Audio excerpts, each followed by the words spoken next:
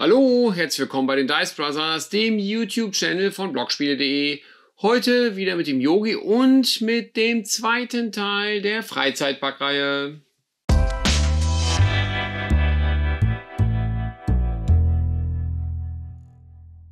Hi zusammen, schön, dass ihr wieder dabei seid, wenn ich heute wieder ein kleines Vorgestellt-Spezial mache. Und zwar habe ich beim letzten Mal ja angekündigt, dass wir jetzt hier die äh, oder besser alle die mir bekannten ähm, Freizeitpark-Brettspiele vorstelle. Und beim letzten Mal habe ich ja den Anfang mit Fabelland gemacht.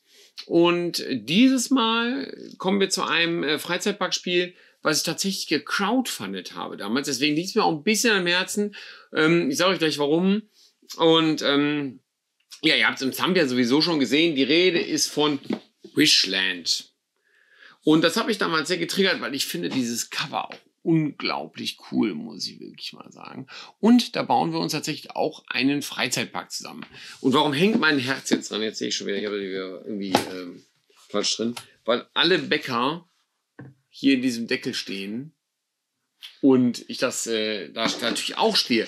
Jetzt ein kleiner Fun Fact, witzig, der Michael, unser Chefredakteur hier bei Blogspiele, der hat das Spiel nämlich auch unterstützt und wir stehen genau hintereinander. Das sind, weiß ich, wie viele Namen. Unsere Nachnamen sind alphabetisch auch überhaupt nicht beieinander, aber wir stehen einfach direkt hintereinander in dieser Schachtel.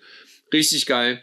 Hab mich natürlich äh, super, ähm, äh, super äh, gefreut irgendwie.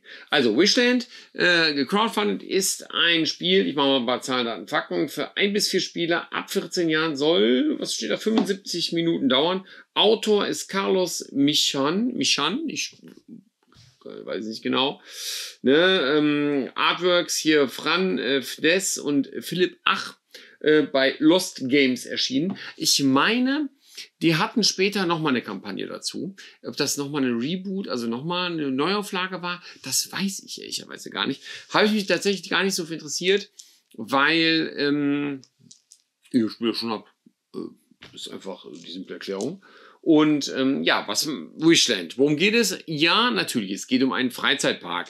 Und wir bauen uns ja einen Freizeitpark auf äh, über eine gewisse Anzahl Runden. Dafür brauchen wir erstmal diesen äh, kunterbunten Spielplan hier. Den zeige ich euch jetzt hier mal. Äh, kann man den äh, gut sehen? Ne, wahrscheinlich nicht. So. Ähm, ja, das ist natürlich ohne Sidecam ein bisschen doof, aber das ist der Spielplan. Wir sehen hier auf dieser Seite eine Markauslage, da kommen gleich, äh, würden dann gleich Kartenstapel hinkommen und hier wird so eine Auslage passieren von einzelnen Karten. Was da gleich drauf ist, sage ich euch gleich. Auf dieser Seite hier hm, sehen wir äh, weitere Felder.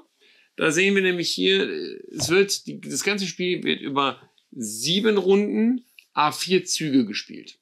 Ja, danach ist schon Schluss. Hier wäre die Spielerreihenfolge.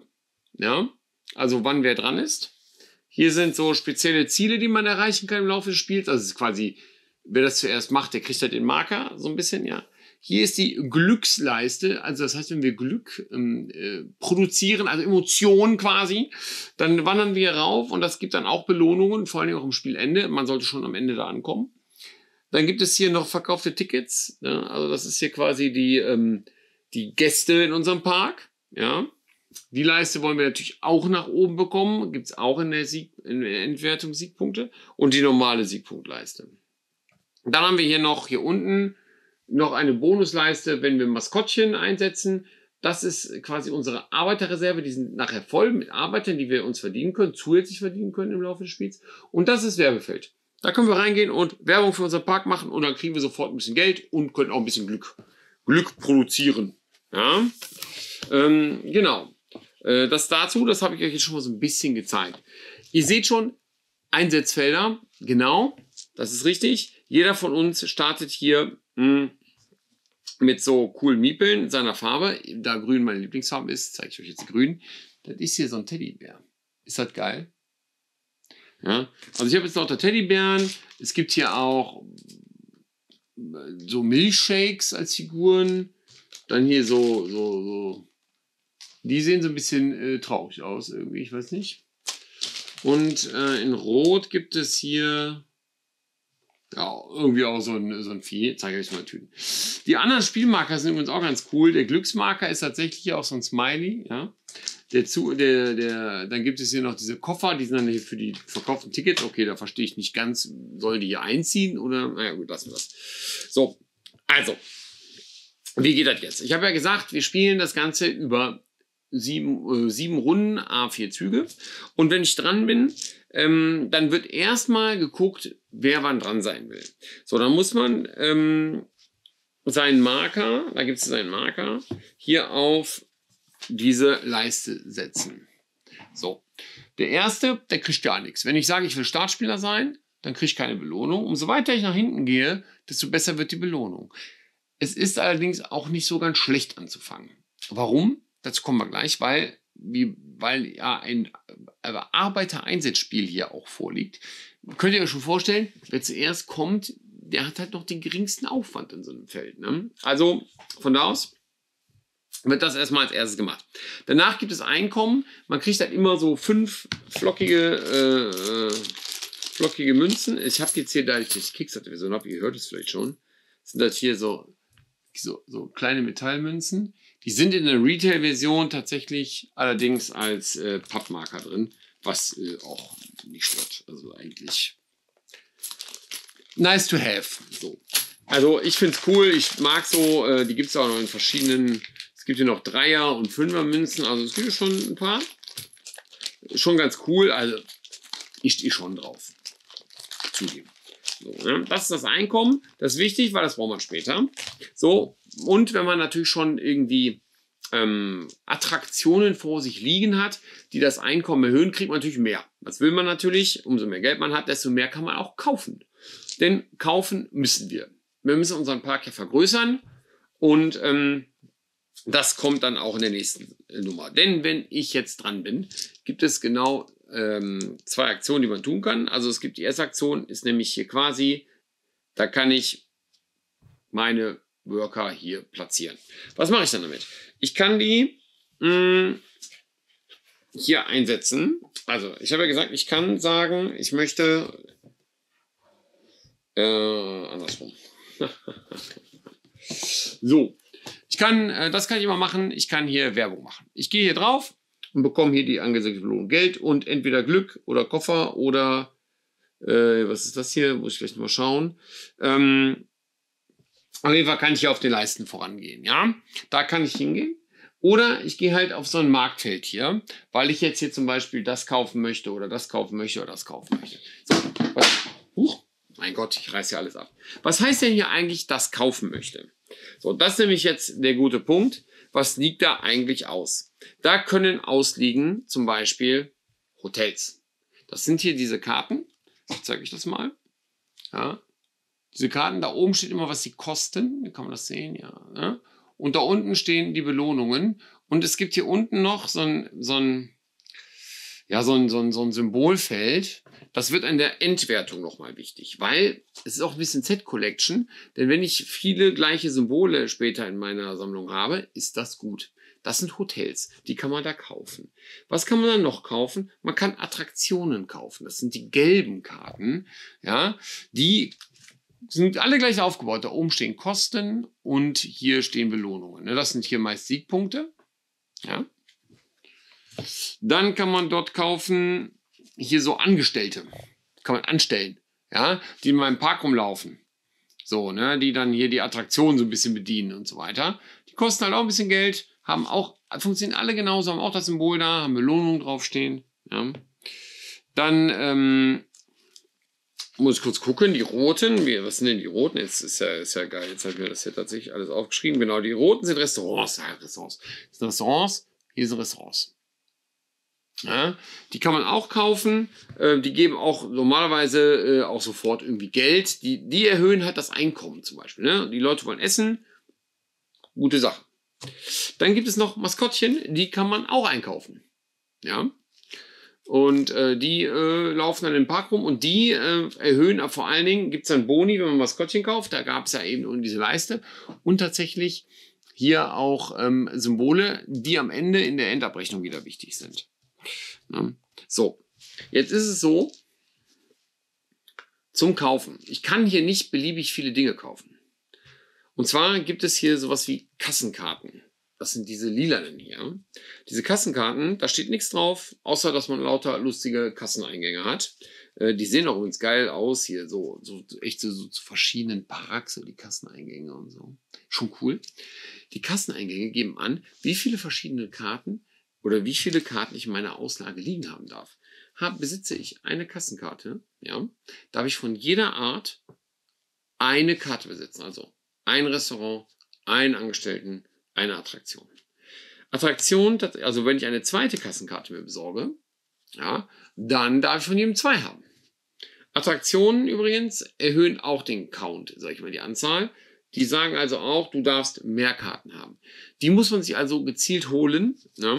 Die sind natürlich dadurch auch interessant. Ne? Und vor allen Dingen auch Dinge, die einem Kassenkarten bringen. Weil Kassenkarten kann man nämlich nicht einfach kaufen. Ne?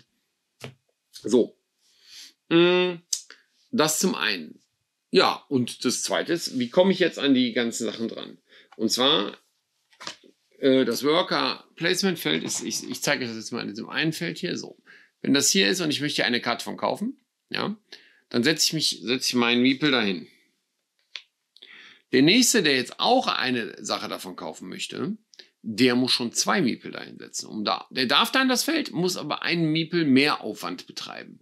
Wenn jetzt ein dritter Spieler auch was aus dieser Reihe kaufen will, muss der schon drei Miepel da reinsetzen. Ich übrigens auch. Wenn ich sage, ich will zwei Sachen davon haben, in meiner ersten Aktion er einen hin, ein zweiter Spieler setzt da zwei rein, muss ich auch drei setzen.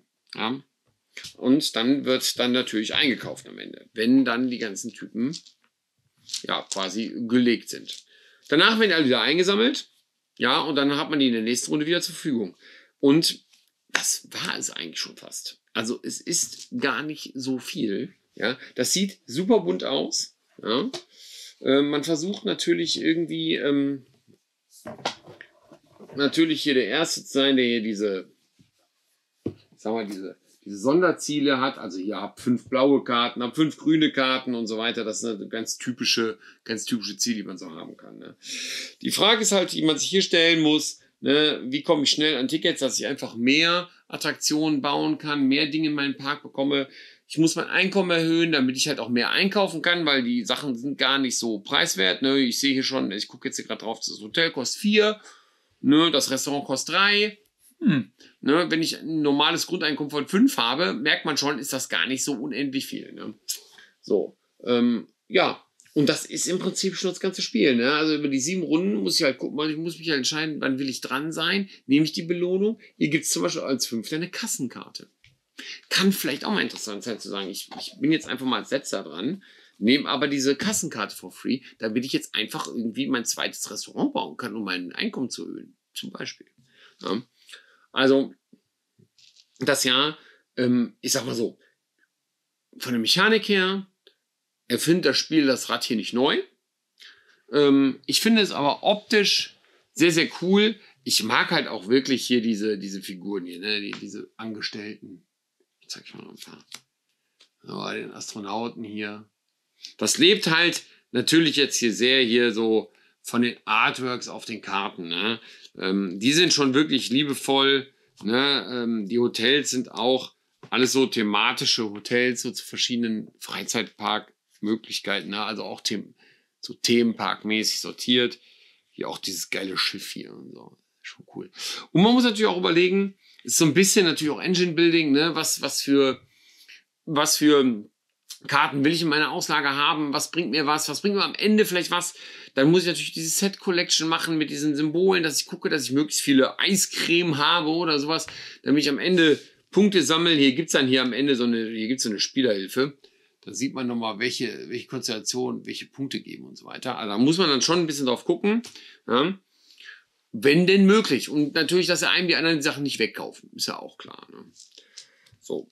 Also ich finde, mh, hm, es ist ähm, regeltechnisch nicht besonders schwer, also es ist eher so ein Kennerspiel, ne? Also ein bisschen mehr als Familienspiel ist es schon, weil man muss ja schon auf so ein paar einige Dinge achten.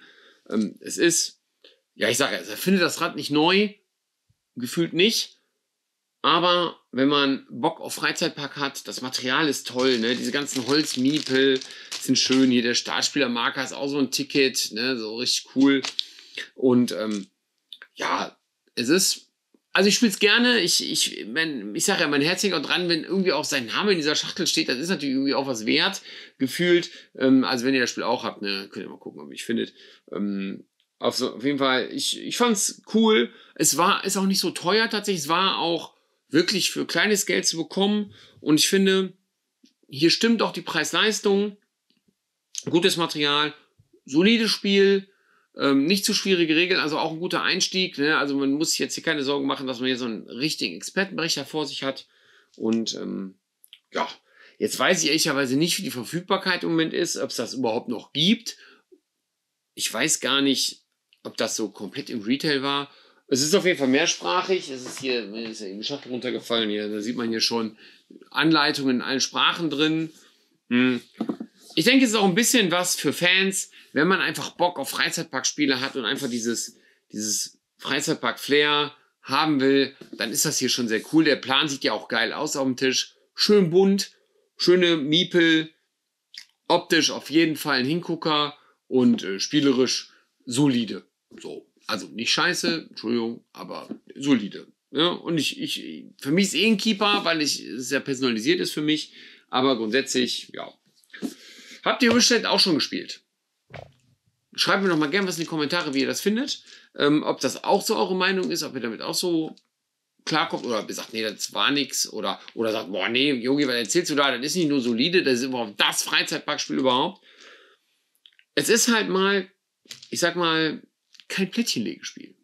Weil viele Freizeitparkspiele, das werden wir noch sehen, haben sehr viel mit Plättchenlegen zu tun, weil man so seinen Freizeitpark quasi so ein bisschen so baut. Und hier ist es eben eher, so ein bisschen mehr Engine Building, so Worker Placement Engine Building mäßig, was es schon ein bisschen unterscheidet von anderen.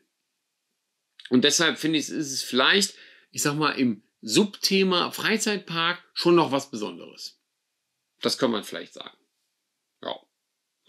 Ja, also wie gesagt, dann äh, würde ich es damit auch lassen. Also kurz und bündig mal vorgestellt.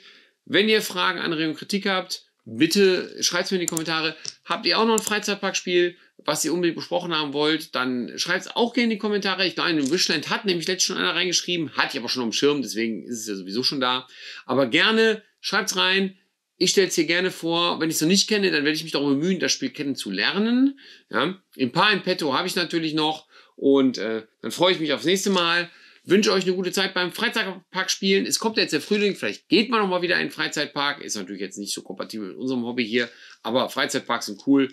Fahrt ein bisschen Achterbahn und spielt abends was Schönes. Alles klar. In dem Sinne, habt eine gute Zeit. Bis zum nächsten Mal. Bleibt uns gewogen. Macht's gut. Tschüss. tschüss.